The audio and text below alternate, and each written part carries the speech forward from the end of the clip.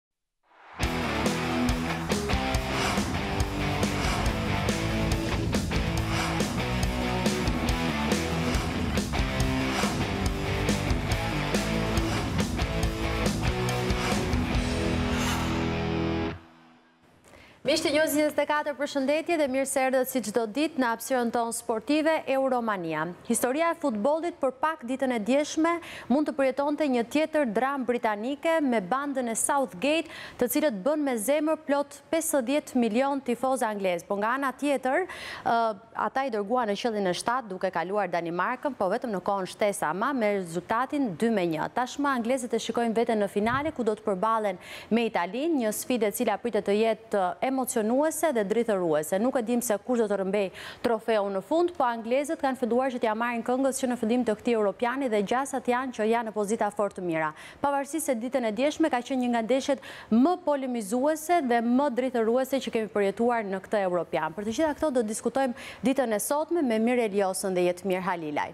Kemi dhe një fitues në Euromania me Jetmirin i cili gjeti rezultatin në kokë, dy me një the. Ke filluar ta rregullosh dorën nga fundi, Jetmir.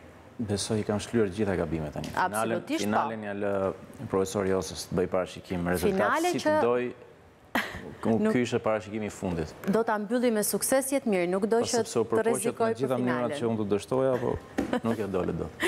Gjithsesi e kemi edhe një fitues tjetër, Josa e ka përmendur që do të shikojmë një finale Angli-Itali që në përfundimin e fazës së grupeve, apo jo? Është Normale që të parashikohet një gjë e tillë, besoj se nuk jam vetëm unë ai që e kam parashikuar këtë gjë, janë mund të jenë dhe të tjerë. Për mënyrën se si kanë shkuar gjërat në këtë Europian, ka pasur shumë zhgënjime rrugës për parashikime. Në çdo kompeticion ka, në çdo kompeticion ka supriza, në çdo kompeticion ka mos parashikime të mira, kështu që unë mendoj që të dy skuadrat të cilat ishin më dinjitoze Dhe të dyja skuadrat që ishin tamam skuadra janë në finale dhe besoj se më bukur është që të shikojmë një Itali Angli se sa një Itali Danimarkë. Vetëm unë arrita që të dështoj në parashikimin tim dje, parashikova që do ishte njësh pjesë e parë, njësh pjesë e dytë, por kjo për meritë të Danimarkës, nuk ndihem fare keq, madje, madje, Kam keqardhje se prisja që ndoshta dhe të kalonte Danimarka dhe ta vijonte atë historinë, sepse nuk bëri të pamundurën dhe luajti shumë mirë kundër Anglisë. Të fitonte Anglia që pjesën e parë do ishte shumë më vështirë, sepse kemi pa një Danimarkë e cila ka qenë shumë e organizume, sidomos mas ndeshjes parë,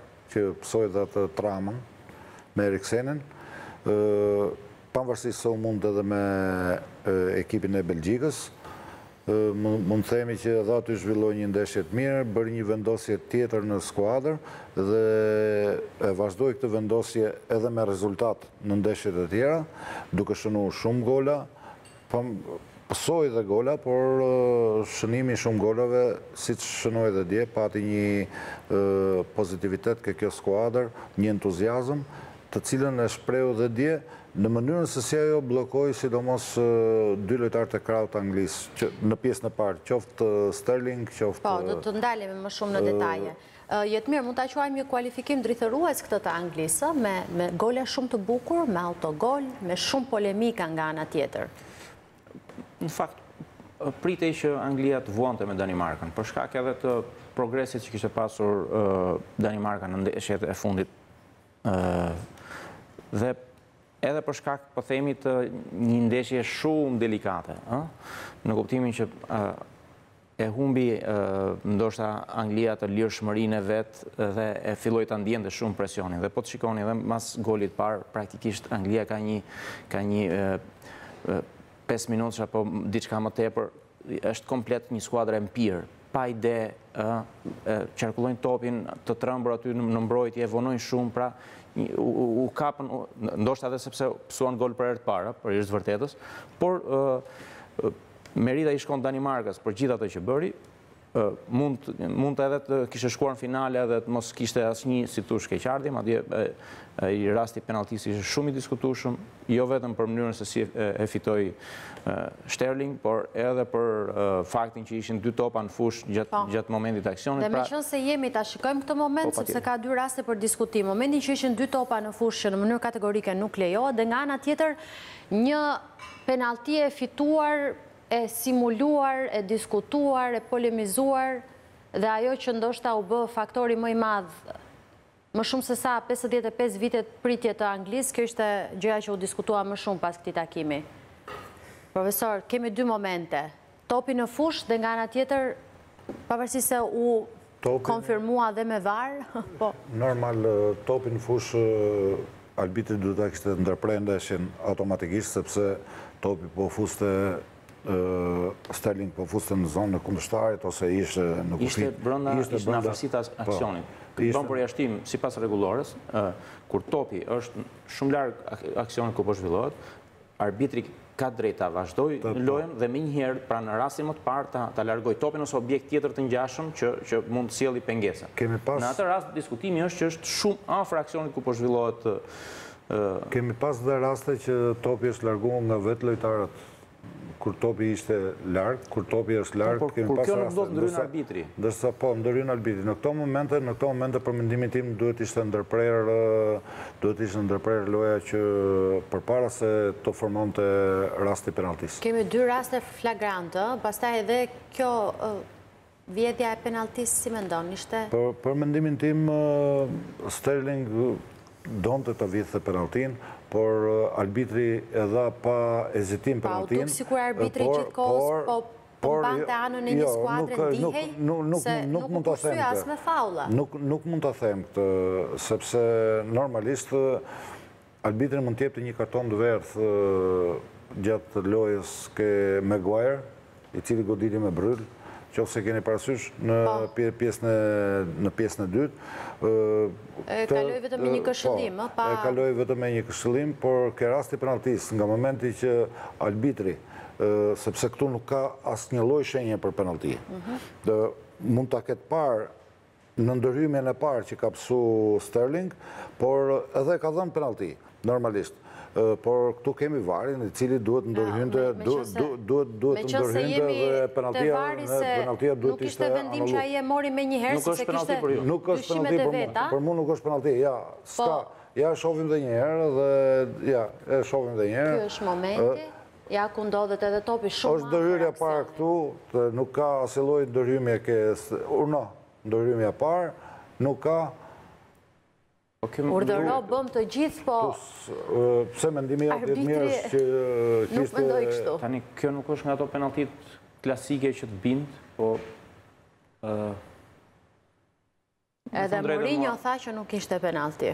Është shumë e lehtë, aq më tepër kur bëhet fjalë për për dy skuadra kaq fizike dhe kaq të këtij profili, ëh.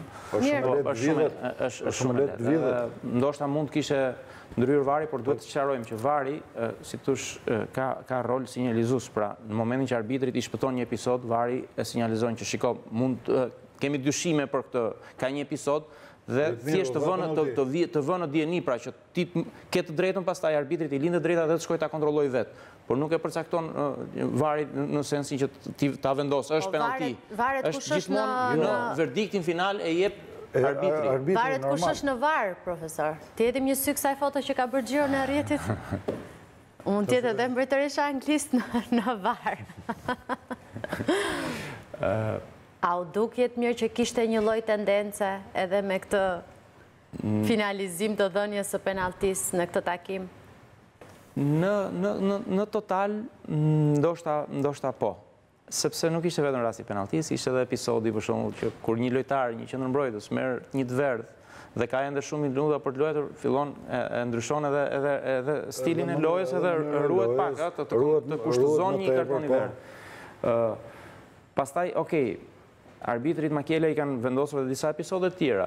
Kjo kryesisht vjen nga pjesa italiane e medias dhe e tifozëve, sepse duhet të kujtojmë rastin e Itali-Zvicra, ai momenti i prekjes me dorë që ishte flagrant dhe që nuk u dha, ëh, dhe po i njëjti arbitër dhe duket sikur i kanë, si të thuash, përveç faktit që Anglia I ka luajtur të gjitha ndeshjet përjashto me Ukrainën në Romë, i ka luajtur të gjitha ndeshjet në Wembley, ëh, duket sikur i kanë dhënë një dorë. Ndoshta është është dhe kështu, por gjithsesi edhe edhe që s'e meritoi nuk mund t'i thuash, ëh, sepse Jo, jo, ishte ishte një lojë shumë burrërore, shumë e fortë, kjo edhe për meritë të Danimarkës. Po, ishte meritë e Danimarkës për mendimin tim që ia bëri shumë të vështirë Anglisë, shënoi e para, Anglia pati momentin që tha Jetmiri edhe përpara golit nuk po organizonte. Danimarka ishte shumë e ngjeshur dhe dilte në kundërsulme shumë të sakta dhe dy krahët punonin shumë mirë. Dy krahët pra dy që u bënin pesë mbrojtësa më në sistemin mbrojtës, kur vinin në pjesën mbrojtëse. Por, unë mendimi im është që Anglia e qarkulloi topin, donte që të Kjo ishte vonesa që thatë ju Jetmir që u vononte shumë për të organizu, për të shku... Më shumë sesa vonesë në qarkullimin e topit, ishte vonesë dhe në mendim, m'u duk mua. Problemi... Në një pjesë të mirë të lojës, në fragmente të lojës, Anglia nuk, dukej sikur nuk kishte një plan. Pra duhet të kthehej Kane në mesfushë që të merrte frymëmarrje që të organizonte diçka dhe po të shikosh dhe golin e barazimit, është një shpikje e Kane-it.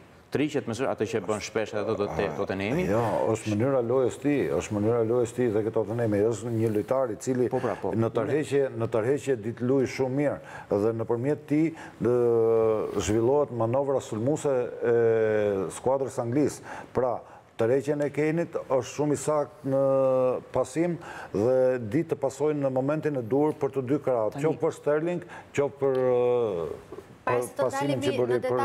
Shikojmë këtë insert që na përmbledh me gjërat më pikante që prodhoi ky takim, pra anglezëve iu deshën dy topa dhe një rast shumë i diskutueshëm që të shijonin për herë të parë një finale europiane. E shohim.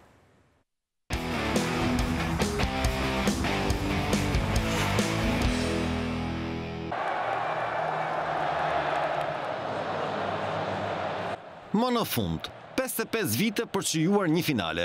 Duket si surreale, por ky është një fakt. Shpikësit e futbollit, atij me një top në fushë, për herë të parë prekin finalen e një kampionati europian. Për ironi të fatit, sërish e bëjnë diçka të tillë në Wembley, ku më njëmbëdhjetë korrik i sfidon Italia. Të paktën anglezët rikthejnë finalen në shtëpi. Tani dëshirojnë të kthejnë dhe kupën, por përballë kanë një ekip ekspert si azurrët e Roberto Mancinit. Tifozët britanikë kalojnë në delir. Kjo ishte një ëndërr gjysmëshekullore, por përballë Danimarkës përjetuan sërish makthjet e të kaluarës. Danezët jo vetëm i luajtën si të barabartë, por i vendosën shumë në siklet. U desh dhe koha shtesë dhe përgjumja e sistemit var për të kaluar më tej. Një kualifikim që bën jo pak zhurmë pas atij episodi tmerrësisht të diskutueshëm që solli dhe golin e fitores. Me gjashtëdhjetë mijë tifozë në krah, ekipi i Southgate e nisi vrullshëm sfidën. Por pak nga pak, Danimarka fitoi terren, duke kërcënuar portën e Pickford, me kundërsulme apo me aksione të rrjedhshme dhe plot klasë. Për të heshtur një komb të tërë, mendoi Damsgaard, me një ekzekutim mbresëlënës në minutën e tridhjetë. Një goditje dënimi perfekte që u pre në trekëndësh dhe që bëri me zemër miliona tifozë anglezë. Për fatin e mirë të britanikëve, banda e Southgate reagoi pas vetëm nëntë minutash loje, duke detyruar Simon Kjaer të dërgonte topin në portën e tij dhe duke rikthyer baraspeshën.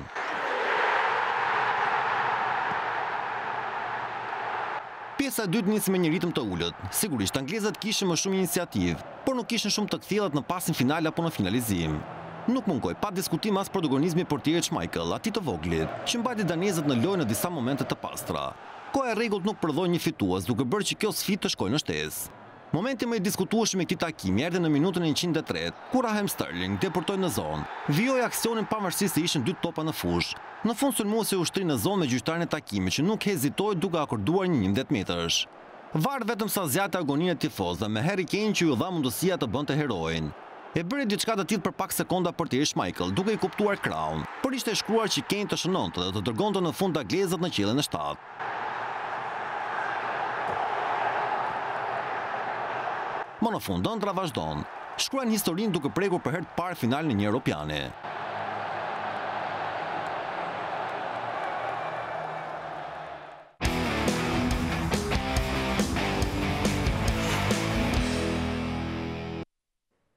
Can you believe it? Sa qejf i kam kur luajnë me, me titullin. Pra, ah. can you believe it? A mund ta besoni dhe vetë anglezët jetë mirë duket sikur e kanë të pamundur ta besojnë këtë. mrekulli. 55 vjet pa shkuar në finale. Në të vetëmen që kanë shkuar e kanë fituar, po 55 vjet pa shkuar... Edhe atëherë me polemika. Me polemika. Po, me Gjermaninë, në? Me Gjermaninë. Po? Kanë skuadrë... Kanë skuadrë të mirë, kanë... I kanë bërë gjërat shumë mirë deri tani, të mos harrojmë kanë pësuar vetëm një gol, dhe gjithsesi e gjetën një mënyrë që edhe pse u gjendën në disavantazh, Po, iu përgjigjën pyetjes si do reagonte Anglia. Nuk e di pastaj mund na e thotë profesori nëse Janë më të avantazhuar se Italia, kanë më shumë cilësi, kanë grup, kanë më shumë cinizëm. Sa efekt ka pastaj fakti që do do luajnë në Wembley? Ë, sa efekt ka që ë, shkuan ë, njëqind e njëzet minuta lojë dhe kanë më pak kohë për për rikuperim? Këto pastaj kemi trajnerin. Efekti, ë, efekti i luajtjes në Wembley është pozitivitet për Anglinë. i japim një pozitivitet, sepse kemi një atmosferë aty që është kriju një atmosferë që thonë gjithë o sot o kurrë. Po duhet të... Po edhe kjo që është e pritshmërisë. Edhe kur kanë dështuar që në çerekfinale, edhe kur nuk kanë kaluar... Po, po, ju thashë... Grupin... Daljana, është një problem i tillë, sepse ato kanë një skuadër komplet tjetër me ekipet e tjera që kanë pas. Ë, kanë një skuadër të re, një skuadër me shumë dëshirë për të fitu, kjo nuk do të thotë që s'kanë pas në skuadrat e mëparme këtë dëshirë për të fituar. Por, unë mendoj që kanë një skuadër me një ekuilibër të tmerrshëm, për mendimin tim, pra dy mesfushorët e tyre të qendrës, janë shumë lojtarë të mirë, lojtarë që punojnë për skuadrën, gjithashtu kanë një Harry Kane i cili di të lujë mirë qoftë në tërheqje, qoftë në vertikalizim përpara... Qëndrojmë te Harry Kane, se më duket po. sikur Harry Kane, qoftë se një qendërsulmues, ose një Ronaldo apo dikush tjetër, është po themi 30% në skuadrën e vet, po, po ta ndajmë me përqindje, Harry Kane duket sikur ka marrë përmasa gjigante ke Anglia dhe ndoshta është më shumë se sa 30%. është pikë referimi. A është Ok, kjo është një avantazh. A është disavantazh, pra duke ditë që Italia është, se ata kanë specialistë, e analizojnë, po. janë shumë të varur. Edhe goli i barazimit që e çoi ndeshjen në shtesë, erdhi pikërisht nga ai pasim po. A është, a bëhet më thjesht për kundërshtarët, bllokojmë këtë lojtar edhe pastaj manovrojmë më mirë? Sa herë që Kjaer e patë dje në, domethënë si vepronte Kjaer, sa herë që Kjaer shkonte në markim individual një për një me Kane, qoftë në tërheqje, qoftë në vertikalizimin e Kane, Kane kishte probleme.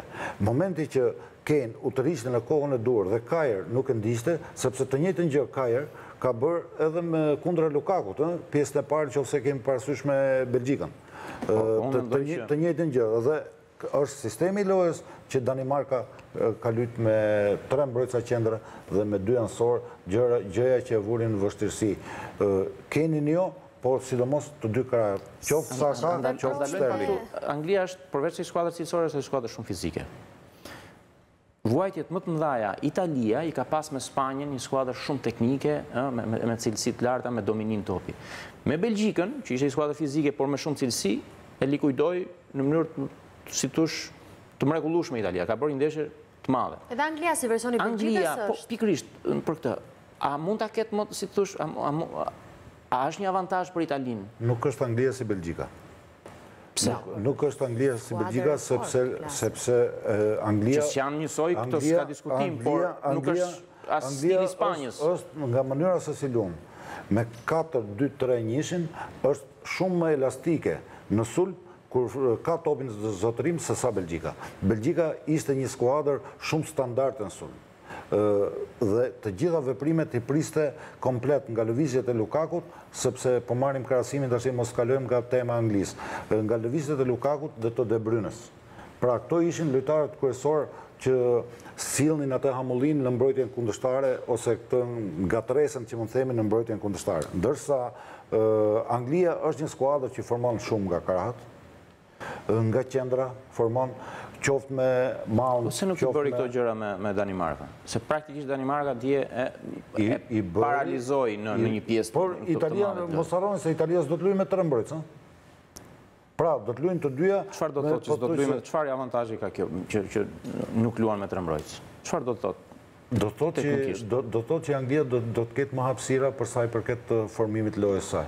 Por dhe do sulmohet më shumë. Sepse në qoftë se Danimarka e priti një pjesë në të të mirë të lojës? Do të sulmohet, do të sulmohet nuk mund ta them, sepse nuk e di se si do të vendosë, Italia nuk do të ndryshojë vendosje, domethënë do dali ke, Italia do dali ke 4-1-4-1, jo 4-3-3. Mirë, Spanja arriti që për shembull ta sakrifikonte Luis Enrique Moratën, duke qenë se kishte frikë dhe ai e shprehu që mund ta markonin dhe mund ta bllokonin Moratën, dhe luajti me një sulmues fals. Tani anglezët nuk e kanë këtë luks që të lënë Harry Kane-in për shembull në stol, sepse kur janë të varur. Nuk nuk është nuk është problemi sepse Spanja luajti me sulmë me sulmues fallc me Olmon për faktin sepse luajti sepse të dy lojtarët e Italisë, qoftë Kelini, qoftë Bonucci, Nuk kishin, kishin, nuk ishte shpresa Enrique që Morata do të fitonte psikologjikisht karshi këtyre. Të ngelemi te finalja, profesor, ju e përmendët. Avantazhet e Anglisë janë Wembley, forcë fizike, të organizuar, të balancuar, sulmin që kanë Kane-in, por kanë dhe krahët mirë. Elasticitet, elasticitet. Dakord me të gjitha. Çfarë ka Italia në këtë moment, çfarë mendoni ju se ka Italia më mirë se sa Anglia, pra çfarë ka grupin më të mirë, ka çfarë ka më shumë? Italia. Italia për mendimin tim ka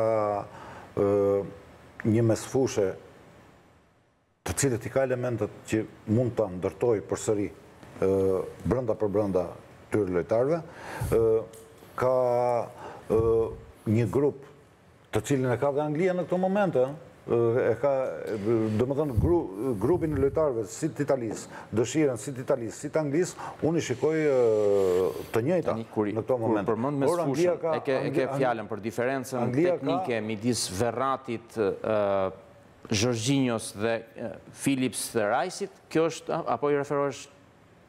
Mënyrës së vendosjes. Mënyrës së vendosjes, sepse Italia vendoset ndryshe. Po e ka dhe pak më teknike Italia, më duket, me cilësi teknike. Por nuk do të jetë problemi në aftësitë teknike të lojtarëve, sepse nuk mund të thuash që Verratti ka ndonjë aftësi teknike të. Të jashtëzakonshme. Të jashtëzakonshme, të një ndoshta Neymar nuk është, po e cilësi teknike të mira. Më tepër është, më tepër është ke aftësi teknike dhe lojtari që mbështet më përpara, do të shkojmë që sulmin e Italisë, është do të shkojmë ke Barella. Çfarë Italie do presim përballë Anglisë? Një Itali siç ishte me Spanjën që u kthye në identitet, apo një Itali siç u shfaq me Belgjikën që luajti një futboll të bukur dhe sulmues? Po e detyroi Spanja Italinë që të bëjë atë lojë. S'u kthye Italia në identitet.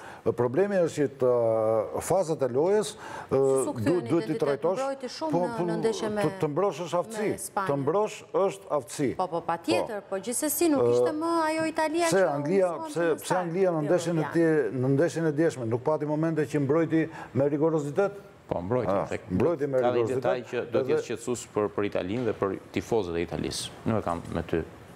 Enkas, po. Unë s'jam i shqetësuar fare, sepse...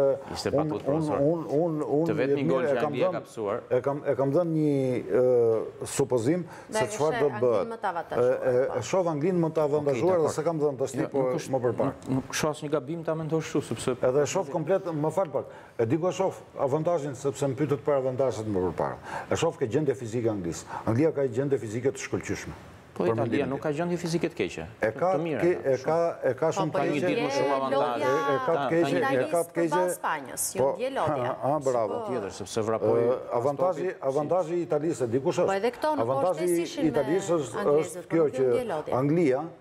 Nuk e përfundojnë ndeshjen për 90 minuta, por po e përfundojnë ndeshjen për 120 minuta.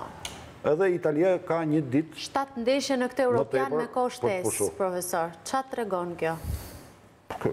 Kjo tregon që ekipet kanë qenë shumë të kujdesshme. Duket sikur nuk ka shumë diferenca mes skuadrave. Do të thënë kanë arritur në këtë fazë të gjitha janë të forta, të gjitha janë të mira. Të gjitha skuadrat dinë të mbrohen dhe mbrojtja është gjëja më e thjeshtë që mund të bëjë një skuadër.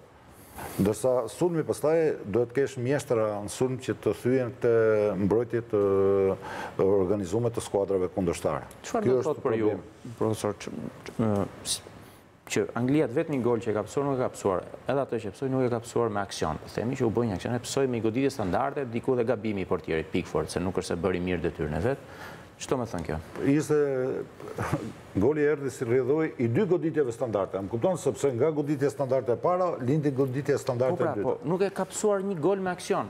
Është shumë e mirë në mbrojtje dhe në fazën mbrojtëse Anglia, ka pas fat Si e sheh këtë? Unë Se Italia po themi ka dyshen e mbrojtjes më të mirë në Europë, por Morata Thashë po. U çam, u çam. Po. po unë unë kam komplet mendimin ke ekuilibri që ka kjo skuadër. Anglia ka ekuilibër të tmerrshëm, ka dy lojtarë të cilët janë pothuajse të, të dy njësoj. qoftë Rice, qoftë Phillips, dy lojtarë, dy gjeometra që e punojnë mesin e fushës, plus që mbrojtja e Anglisë për mendimin tim ka dhënë, Maguire i ka dhënë shumë garanci kësaj skuadre, edhe kthimet e shpejta, sepse Anglia nuk është se nuk përparon me dy mbrojtësit anësorë, qoftë me Walker, qoftë me Shaw, nuk është se nuk përparon me këta emra, po kanë kthime mbrapa shumë të shpejta. Pra, është gjendja fizike e kësaj skuadre dhe shpejtësia e Walkerit dhe e Shawt. Ju e pa dje se ç'bëri Walker? E pash. Ishte fantastik. Dukej sikur kishte shtatë mushkëri. Në të gjithë rrugëtimin e tij ka qënë i mirë Walker, jo vetëm në këtë sfidë. Ka bërë një ndeshje gabim, ndeshje gabim që bëri Walker, ka qënë në ndeshje me Skocinë, për mendimin tim. Për aq sa i kërkoi, i po, mirë ka bërë. Që nuk ishte i mirë në organizim, po ndeshjet e tjera ka qënë për mu fantastik. Mirë, sa përcaktues dhe sa impakt do të ketë stoli për të dyja skuadrat, se kujtojmë që Anglia ka luks për përzgjedhjen e stolit, ndërsa Italia le të themi e vuan pak këtë çështjen e zëvendësimeve. Anglia ka në stol lojtarë me vlera në 100 milionë euro. Unë nuk do ta kap ke vlera monetare e këtyre lojtarëve që kanë stol Anglia. Anglia vërtet ka lojtarë shumë të mirë, pra pamë Sancho Dje nuk u aktivizu fare dhe po. u aktivizu Saka. Saka, po. Në të djathtë. Po. Dhe ky është diskutim shumë i madh ky zëvendësimi. Po, unë shof dhe Italinë, por unë shof dhe Italinë me shumë precedent përsa i përket me precedent të mirë të që kanë ndodhur më përpara, përsa i përket ndryshimeve që mund të bëjë. Qoftë me eksperimentet që bëri Mancini në ndeshjen e tretë të grupit, qoftë me lojtarët e tjerë që ka hedhë në fushë të cilët i kanë dhënë impakt skuadrës. Jetmir? Problemi, problemi, eksperimentet e Mancinit. Mancini ka bërë vetëm një eksperiment me dëshirë. Tjerat i ka bërë sepse janë i detyruar dhe ka bërë në ndeshjen e tretë në grup. Eksperimente dhe është e çuditshme që Anglia, për shembull, nuk luan kurrë me të njëjtin formacion dhe nuk luan nga halli, nuk e bën këtë nga halli. E bën sepse trajneri e mendon kështu dhe prap nuk i cënohen ekuilibrat. Kjo besoj është një gjë e jashtëzakonshme. Po të shikosh, ai ka Grealish për shembull bën diferencën sa herë është në fushë. Ai herë e fut, herë nuk e fut. Sancho lun i lun titullar, bën diferencën. Nuk e nuk e aktivizon fare.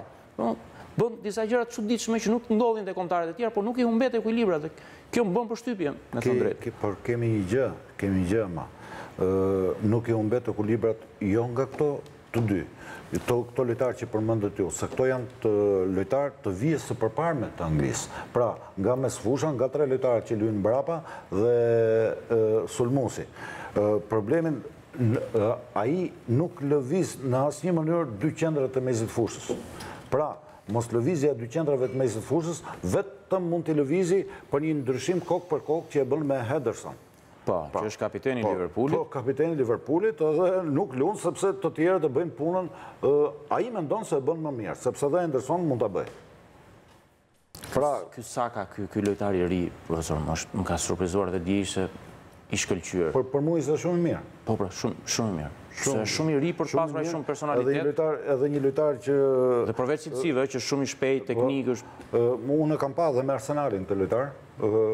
Lojtar i cili i ka dhënë një impakt sulmues shumë lojës së Arsenalit nga momenti që Arteta filloi ta fusi në lojë, por Dje kishte vështirësi, edhe vështirësitë më të mëdha dje kush ishin? Ishin sepse kishte një dublim të Maguire mbrapa Shaw-t. Ky ishte, domethënë, dilte dublimi shumë shpejt dhe ne duhet të kemi parasysh që Danimarka këtë punë e bënte me dy lojtarë të tjerë. Vestergaard Dhe mbrojtësi i djathtë i tyre, mbrojtësi i majtë i tyre, i cili... Maehle. Po, të cilët ishin dy lojtarë të cilët shkonin mbi të.